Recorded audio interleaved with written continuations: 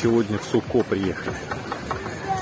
Вот что происходит в Суко 29 июля. Время начала 11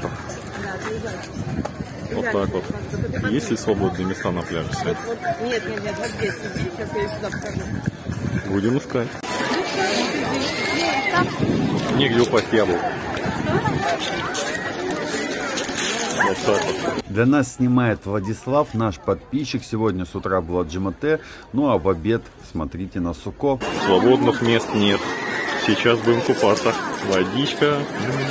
Люди купаются.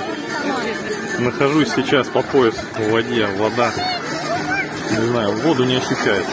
Вода, наверное, точно градус 30. Вот. Погода солнечная.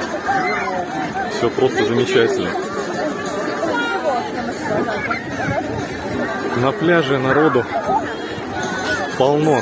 То есть мы разместились э, не на первой береговой линии, а там чуть подальше поставили палаточку небольшую, спрятались от солнца. Но посмотрите, здесь аншлаг. Как водичка вам? Отлично. Отличная водичка. Вот правда, прям как будто вот, да, парное молоко, то есть не ощущается, вообще не ощущается.